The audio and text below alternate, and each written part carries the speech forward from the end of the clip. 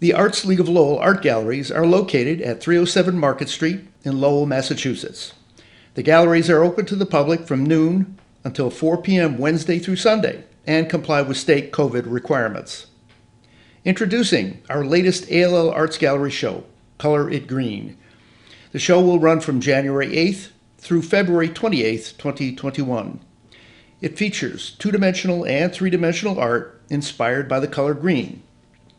If you can't visit the gallery in person or would like a preview, please continue to watch this video for the slideshow that begins in just a moment. Please help us to exceed our goal of 100 subscribers by subscribing to our YouTube channel. Thank you in advance for watching.